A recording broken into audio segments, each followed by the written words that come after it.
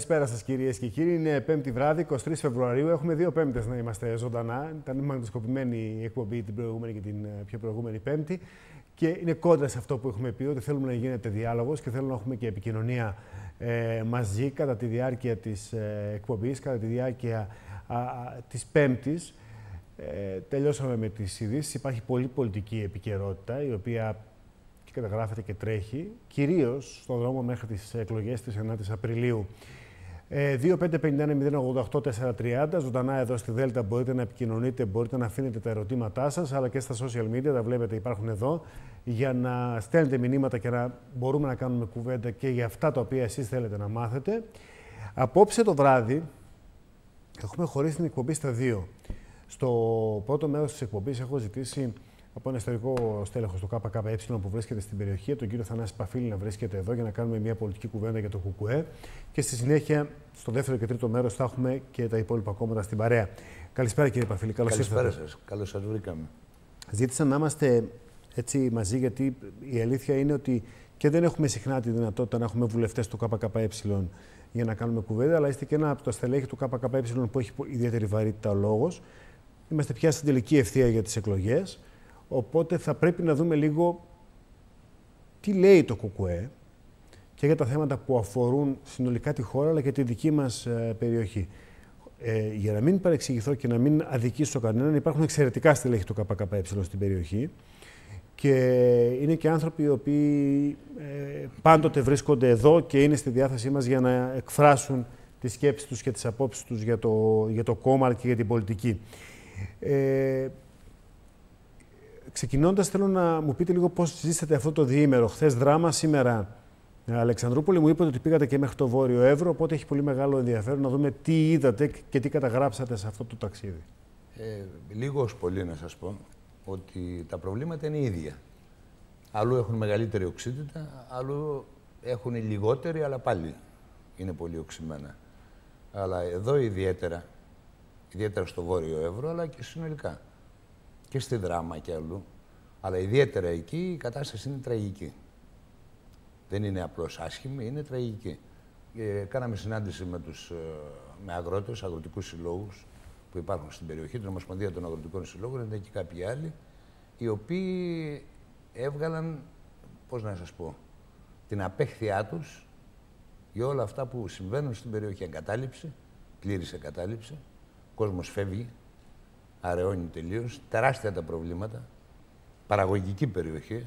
Ναι. Δεν μπορούν να βγάλουν μεροκάματο, να το πω έτσι απλώς. Με πολλά στρέμματα αγρότες και κτηνοτρόφοι. Ναι, δεν μπορούν παρόλα αυτά γιατί το κόστος παραγωγής έχει πάει στα ύψη κλπ. κλπ. Έργα υποδομής δεν υπάρχουν συνολικά.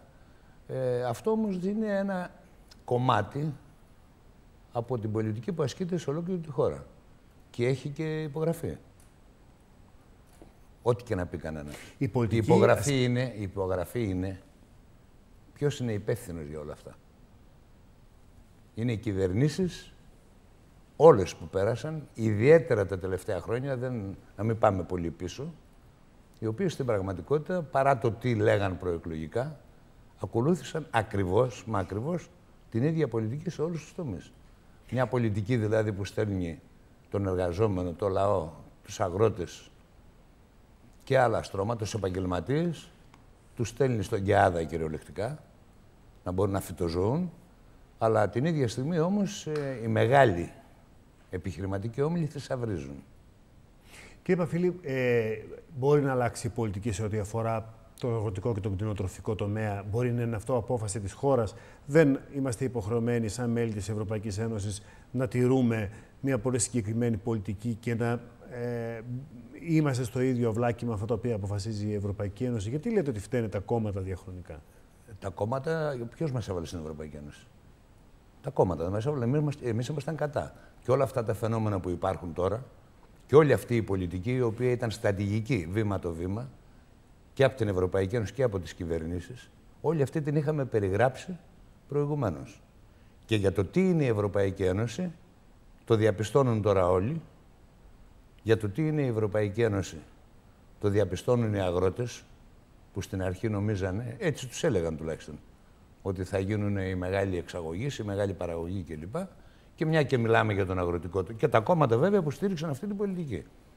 Μια και μιλάμε λοιπόν για την Ευρωπαϊκή Ένωση, η Ευρωπαϊκή Ένωση είναι η επιλογή συγκεκριμένων πολιτικών κομμάτων. και όταν ο λαός αγαναχτεί με την ε, κοινή αγροτική πολιτική, η οποία έχει στρατηγικό στόχο να διώξει, έδιωξε ήδη πάρα πολλούς με αυτή την πολιτική που δεν μπορούσαν να τα βγάλουν πέρα, μείωσε δραστικά τον αγροτικό πληθυσμό και, από και σήμερα προχωράει στο βήμα το παραπέρα να παραδοθούν ή να, ή να αναγκαστούν οι αγρότες, επειδή δεν θα μπορούν να βγουν πέρα, να τα δώσουν για να γίνουν μεγάλες καπιταλιστικές επιχειρήσεις, όπως έχουν γίνει ήδη. Και ξεκινάνε να γίνουν. Και όχι από αγρότες, γιατί είναι, οι ομάδε παραγωγών που πάνε να γίνουν δεν είναι οι αγρότες οι ίδιοι. Να, να μας είπαν για την ομάδα παραγωγών. Δεν μπορούν να τα βγάλουν πέρα. Αυτό μας είπαν. Έχουν ομάδα παραγωγών. Δεν μπορούν κυριολεκτικά να τα βγάλουν. Θέλουν πιστοποίηση, θέλουν μια σειρά πράγματα, έχουν τεράστια έξοδα που δεν μπορούν να ανταποκριθούν και μην φαντάζεστε ότι έχουν και καμία ιδιαίτερη μεταχείριση μεγάλη. Αυτή την πολιτική ωφέλη. Λοιπόν, έχουν. Υπάρχουν φορολογικά ωφέλη. Ναι, υπάρχουν φορολογικά ωφέλη, αλλά για να έχεις φορολογικά ωφέλη πρέπει να έχεις και εισόδημα. Καλό. Άμα δεν μπορείς να τα βγάλεις πέρα και δεν μπορεί να ζήσεις από την παραγωγή σου και είσαι χρεωμένος συνέχεια, πώς να το. Γιατί πώς; θα ήταν διαφορετικά; Επομένως, λέω. Επομένως. Εδώ όμως τώρα, επειδή είμαστε σε προεκλογική περίοδο. Ναι. Ε, Ποιος θα πρέπει να, να κατηγορηθεί γι' αυτό, αυτοί που κυβέρνησαν τη χώρα. Και η ίδια η Ευρωπαϊκή Ένωση που εμείς είχαμε περιγράψει ότι είναι Ευρωπαϊκή Ένωση για τα μεγάλα συμφέροντα. Αυτά κοιτάει και αυτά θέλει να υπηρετήσει. Και οι άλλοι, όλοι οι άλλοι λέγανε ότι είναι παράδοσος. Και όταν ήρθε η οικονομική κρίση και είπαμε ότι έχουμε γερό μαξιλάρι την Ευρωπαϊκή Ένωση, η Ευρωπαϊκή Ένωση τι έκανε, τσάκισε ακόμα περισσότερο τον κόσμο και εκείνοι που δεν πλήρωσαν, ούτε εδώ ούτε σε όλη την Ευρωπαϊκή Ένωση, ήταν οι μεγαλοεπιχειρηματίες, τα μονοπόλια, οι πολυεθνικές, αυτές. Αυτή είναι η Ευρωπαϊκή Ένωση. Ε, η πολιτική του ΚΚΕ και η πρόταση του ΚΚΕ για την ε, ε, αγροτική και την κτηνοτροφική οικονομία ε, είναι ικανή να γυρίσει αυτό το, αυτή την εικόνα που ζούμε σήμερα. Και ξέρετε κάτι, ε, χωρίς να θέλω να τους βγάλω τους ανθρώπους από το κάδρο, αλλά στη Λάρισα, ξέρω εγώ, στην Καρδίτσα, τα πράγματα είναι καλύτερα από ό,τι είναι στον, ε, νομίζετε. Δεν είναι, δεν είναι σε τόσο άθλια κατάσταση. Έτσι. Σε άθλια βρίσκονται και αυτοί. Μπορούν λοιπόν να γυρίσουν με την αντίθεση, εγώ το είπα σήμερα και μου είπαν που δεν είναι, έχουν καμία σχέση με το ΚΟΕ όλοι, ότι έχετε δίκιο. Η, η αντίθεση δεν είναι ανάμεσα στο Βόρειο Εύρο και στην Καρδίτσα και στη Θεσσαλία. Η αντίθεση είναι στη συνολική πολιτική που δεν μπορούν να τα βγάλουν πέρα οι αγρότες. Και να, να ξεκινήσουμε; Καλλιεργητικά εφόδια, στα ύψη. Δύο λεπτά λίγο. Δύο λεπτά. Ναι. Όταν όμως έχεις μια περιοχή στην οποία έχουν γίνει αρδευτικά, αρδεύεις ε, και δεν χρειάζεσαι να καίεις το ροτζερίνι να καίει όλη την ώρα το πετρέλαιο και το ρεύμα. Όταν δεν χρειάζεται. Το κόστος παραγωγής είναι μικρότερο από το να έχεις μια περιοχή. Ναι, που έχουν γίνει όλα αυτά. Δεν έχουν γίνει στο Θεσσαλικό κάμπο. Ε, έχουν γίνει, αλλά είδατε τι έγινε με τις πλημμύρες. Πρέπει όμως να δούμε ότι εδώ υπάρχει μια περιοχή. Επομένως, το ότι είναι πιο εγκατελειμμένη είναι, αλλά και οι άλλοι κοινά προβλήματα. Κακώς τώρα μπαίνουμε σε αυτό. Ακούστε να σας πω. Δεν αυτό, είναι μεταξύ των Αυτό είναι Διέρη και Βασίλευε λογική που Προσπαθούν να πάνε ναι, στον κόσμο. Μέσα ότι άλλοι ζουν καλά και εσείς ξέρετε ποιοι είναι τώρα; Έχουν μπει μεγάλες επιχειρήσεις στον αγροτικό τομέα, πολύ μεγάλες, που έχουν μικρότερο κόστος παραγωγής, που επιδετούνται περισσότερο και σιγά, οι μικροί δεν μπορούν να τα βγάλουν πέρα, αντικειμενικά στον ανταγωνισμό αυτό που υπάρχει. Και αυτό θα συνεχιστεί. Ωραία. Μήπως περνάτε λοιπόν το ερώτημα. Πάω λοιπόν να, να απαντήσω στο ερώτημα για την πολιτική τη δική μας. Καταρχήν για σήμερα, για σήμερα όπως είναι η κατάσταση, και επειδή έχουμε τη συνέστηση ότι δεν μπορεί να ανατραπεί πλήρως τώρα, εκτός και το αποφασίσει ο λαός ξαφνικά. Αυτό ευχόμαστε. Για τώρα στηρίζουμε όλα τα αιτήματα των αγροτών. Τα οποία όλες οι κυβερνήσεις μέχρι τώρα, όλες, τα έχουν πετάξει στον κάλαθο των αχρήστων. Και να σας πω ένα απλό παράδειγμα. Ταμείο ναι. Ανάκαμψης. Τι θα πάρει η αγροτική οικονομία, ο φτωχό αγρότη, τίποτα. Μιλάμε για δισεκατομμύρια. 11,5 δις έχουν δοθεί ήδη στου επιχειρηματικούς ομίλους. Τι έχει δοθεί στους αγρότες, Τίποτα δεν θα πάρουν. Θα πάνε στις μεγάλες επιχειρήσεις και μεγάλα στο λέμε στα μεγαθύρια κυρίως. Οι μικρομεσαίες δεν έχουν λαμβάνει. Λοιπόν, εμείς στηρίζουμε τα αιτήματα. Έχουμε καταθέσει και πολύ συγκεκριμένες προτάσεις. Σας λέω το πιο απλό και απευθύνομαι και στον κόσμο που μας βλέπει. Είναι δυνατόν οι εφοπλιστές που έχουν πλούτο απίστευτο στα χέρια τους να παίρνουν αφορολόγητο πετρέλαιο και ο αγρότης να μην παίρνει. Δεν παράγει ο αγρότης. Δεν είναι παραγωγική δύναμη. μιλάμε για απίστευτα νούμερα. Σήμερα τα ναύλα έχουν πάει από 60.000 σε 600.000 στα καράβια. Σε αυτά, στον εμπορικό στόλο που η Ελλάδα σημειωτέων είναι πρώτη στον κόσμο. Μπορεί να έχουν 57 φορά απαλλαγέ και ο αγρότης να πληρώνει φόρο και οι άλλοι μισθωτοί να πληρώνουν 21%. Μπορεί τα διανεμόμενα κέρδη να πληρώνουν 5% φορολογία και 22% ένας που με μεροκαματιάρης και μισθωτός ή ένας αυτο, αυτοαπασχολούμενος που έχει άλλες βέβαια άλλα προβλήματα. Αυτά είναι σοβαρά θέματα. Είναι δυνατόν ο κρατικός προϋπολογισμός, το, στον κρατικό προϋπολογισμό, το 94% της φορολογίας να είναι από μισθωτούς και αυτοαπασχολούμενους, από λαϊκά στρώματα δηλαδή, και αυτοί που έχουν όλο τον πλούτο, που ξεπερνάει το 60% του ΕΠ να πληρώνουν ε, λιγότερο φόρο. Άρα να πληρώνουν το 6%. Άρα ποια είναι η πρόταση, Άρα, λοιπόν, να αλλάξει ο τρόπος φορολογίας; Ε, εμείς η πρότασή μας είναι, η, η τελική μας πρόταση είναι άλλη. Και θα, θα την πω Μην μου πάτε στη σκληρή τελική πρόταση. Πάμε στο... Εγώ σας λέω για το σήμερα τι παλεύουμε. Ακριβώς. Και αυτό δεν πρόκειται να το δώσουν. Θα το δώσουν μόνο όταν ξεσηκωθεί όλος ο αγροτικός κόσμος, όταν συμπαρασταθεί και ο εργαζόμενος, αν υπάρξει δηλαδή ένα πανελα... πανελλαδικό ξεσηκωμός, να αναγκαστούν να δώσουν κάτι, να δώσουν μερικά πράγματα. Αυτούς όμως τους αγώνες οι άλλοι τους αγνοούν. Η μεν Νέα Δημοκρατία λέει, μπορεί να λέει και κανένας ή κανένας τοπικός βουλευτής ότι έχετε δίκιο, αλλά δεν αντέχει η οικονομία. Πώς δεν αντέχει η οικονομία; Πώς αντέχει και δίνει δισεκατομμύρια; Στους μεγάλους. Αυτά από πού είναι, που τα πληρώνει και ο ίδιος ο λαός. Εκεί αντέχει, αλλά για τον λαϊκό κόσμο και τον παραγωγό του πλούτου δεν αντέχει. Αντέχει για πάρα πολλά άλλα, να δίνει μέχρι 70% για τις επιδοτήσεις για τις ε, ανανεώσιμες πηγές ενέργειας, αλλά δεν αντέχει ούτε αντιπλημμυρικά να κάνει, ούτε ένα, αντισυσμική προστασία, ούτε έργα υποδομής που θα ωφελήσουν τον λαό. Ο, ο Τσίπρας ο ΣΥΡΙΖΑ τα ίδια. Πάει και βγάζει φωτογραφία στο τρακτέρ και όταν ήταν στην κυβέρνηση με σκληρό αγώνα πήραν κάτι ψηλά οι αγρότες. Την ίδια πολιτική ακολουθούν. Και έχετε δίκιο που λέτε η Ευρωπαϊκή Ένωση. Μα γι' αυτό είμαστε κατά της Ευρωπαϊκής Ένωσης. Και ξέρετε, στην Ελλάδα το μεγαλύτερο, είναι το μεγαλύτερο ποσοστό στην Ευρώπη που είναι κατά της Ευρωπαϊκής Ένωσης. Ναι, το ΚΟΚΟ έχει ναι. πολύ μικρό ποσοστό στην Ελλάδα. Ε, ε θα γίνει μεγάλο, μην Γι' αυτό είμαστε εδώ από την πείρα του. Πώς ήταν λοιπόν αυτή. Να σας πω κάτι. Να σας πω κάτι. Έγινε μια δημοσκόπηση. Δεν την κάναμε εμείς βέβαια. 23% του ελληνικού λαού δηλώνει ότι δυνητικά θα ψήφιζε κουκουέ. Θα ψήφιζε κουκουέ. Οι θέσεις μας γίνονται αποδεκτές. Όπου πάμε, ναι.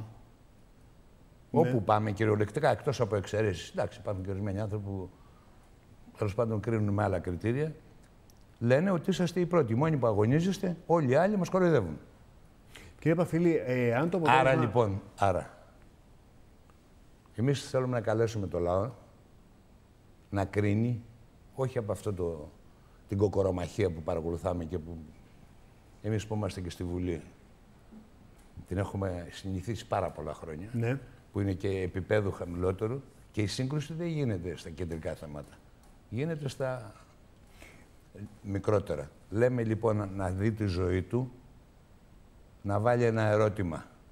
Ποιος με έφερε ως εδώ, ποιοι ήταν αυτοί που κυβέρνησαν τη χώρα, ποιοι κέρδισαν και ποιοι έχασαν; Αυτό είναι το πρώτο ερώτημα. Και θα καταλήξει σε όλες τις κυβερνήσεις τις οποίες τις έχουμε δει όλες. Άρα να ψηφίσει όλα τα μείγματα. Να όλα ψηφίσει τα τιμωρητικά. Όλα τα μείγματα. Τι θα ψηφίσει; Να ψηφίσει τιμωρητικά. Όχι τιμωρητικά μόνο. Αυτό είναι το ένα. Άρα δεν μπορώ να τους, αφού αυτοί με έφεραν ως εδώ, πρέπει να τους καταδικάσω. Το να καταδικάσει από τον έναν στον άλλον, ή στο, και στον τρίτο και στον τέταρτο, είναι μαζί. Έχουν κυβερνήσει όλοι μαζί. Είδαμε τα πάντα. Γιατί έχουν ακριβώς την ίδια γραμμή, έχουν επιμέρους διαφορές που είναι ασημαντικέ. Ποιος τους στήριξε όλα αυτά τα χρόνια, αυτό θα το πούν. Ρωτήστε. Και ανθρώπους που ανήκουν σε άλλα κόμματα θα σου πει να το κουκουέ είναι το μόνο που παλεύει για τα προβλήματά μας κλπ. Γι' αυτό λοιπόν τώρα να κάνει το βήμα. Γιατί; Γιατί αυτή η πολιτική δεν θα αλλάξει. Θα γίνει μάλλον χειρότερη, για να μην πω σίγουρα χειρότερη.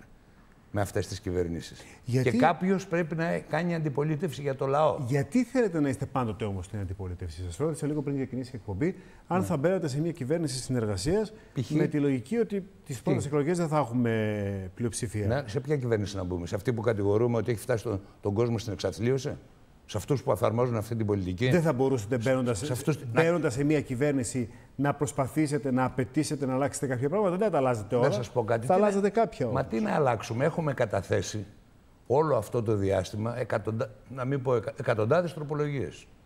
Όχι για το σοσιαλισμό. Τώρα, να... παραδείγματος χάρη, ΦΠΑ, Ναι. να καταργηθεί για τα είδη πλατιάς ε, κατανάλωσης.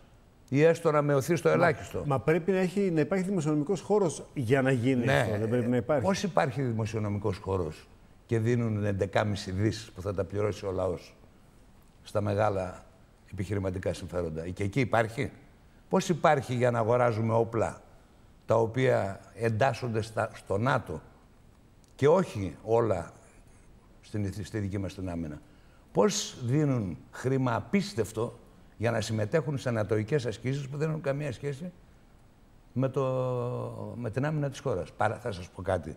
Ένα F-16, μια ώρα και 10.000 ευρώ.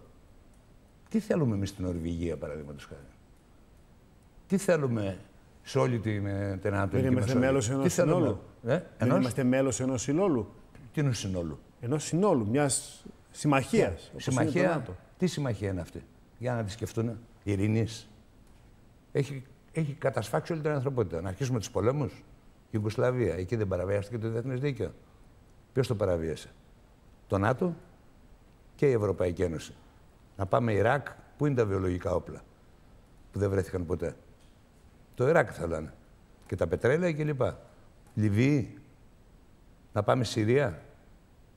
Αιματοκύλισμα όλων των λαών στην περιοχή. Ποιος τον έκανε; Το ΝΑΤΟ. Γιατί το έκανε; Για να φέρει δημοκρατία ή για να κατεβάσει τα καθεστώτα αυτά. Στη Σαουδική Αραβία γιατί είναι; Συνεργάζονται στενά. Είναι δημοκρατική χώρα η Σαουδική Αραβία.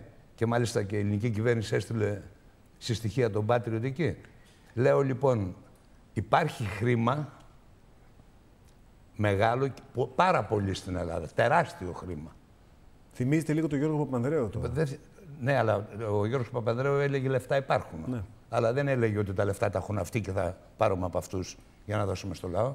Εκεί σταμάταγε.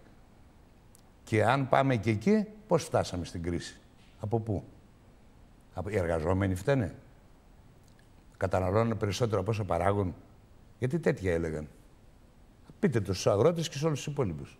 Να δούμε αν καταναλώνουν περισσότερα. Έγινε από την ενίσχυση, την, την, πώς θα πω, σκάνδαλο απέναντι στους επιχειρηματικούς ομίλους.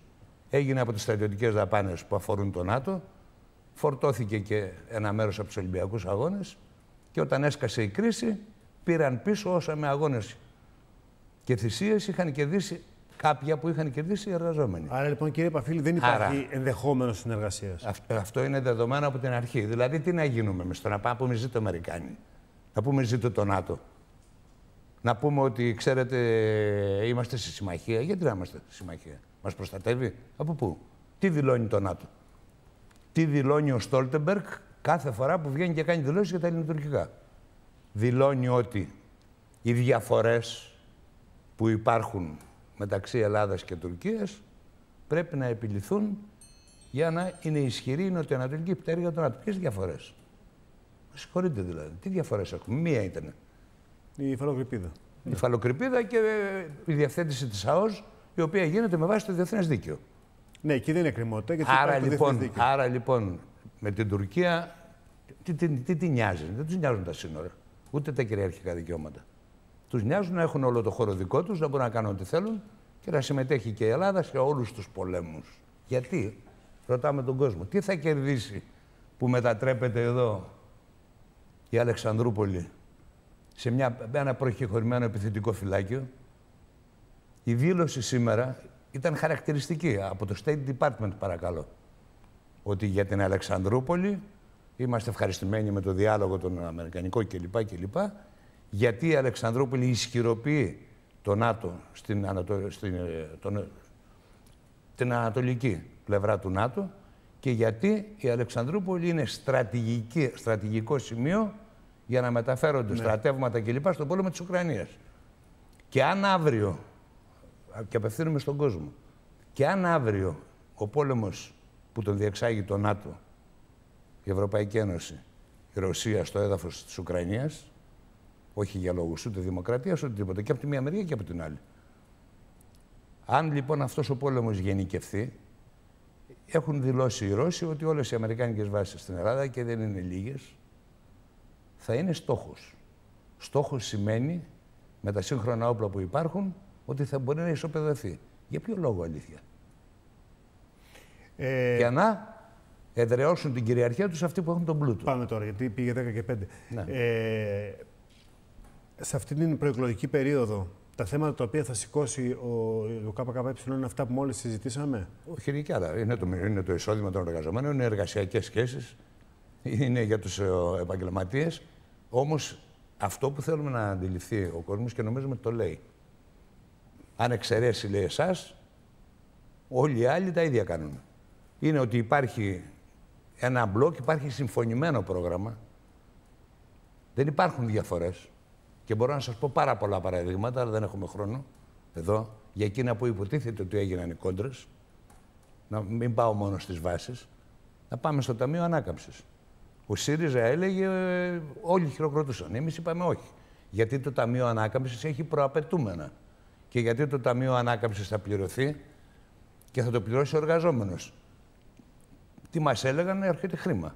Μάλιστα, πού θα πάει αυτό το χρήμα; Έχει 17 προαπαιτούμενα το Ταμείο Ανάκαμψης. Σήμερα τι λέει ο κύριος Τσίπρας, ότι δεν υπάρχουν και πολλά περιθώρια. Έλεγε τότε ότι θα τα δώσει στο κοινωνικό τομέα ένα μεγάλο μέρος. Τι είπε σε συνέντευξη την προηγούμενη εβδομάδα, ότι ξέρετε δεν υπάρχουν περιθώρια, υπάρχουν όροι και προαπαιτούμενα. Άρα δεν μπορώ να το κάνω. Επομένως λοιπόν λέμε στον κόσμο να ψηφίσει με βάση το συμφέρον του. Στο λαϊκό τον κόσμο και σε όσους σκέφτονται περισσότερο. Και να ρίξει κουκουέ στην κάλπη. Γιατί την άλλη μέρα ποιος θα τον υπερασπιστεί; Ποιος έκανε αντιπολίτευση; Κύριε Παφίλη, ευχαριστώ, ευχαριστώ πολύ. να είστε καλά. Κυρίες και κύριοι, θα πάμε σε διαφημίσεις και επιστρέφουμε με το δεύτερο μέρος της εκπομπής, ζωντανά εδώ στη Δέλτα, σήμερα Πέμπτη βράδυ.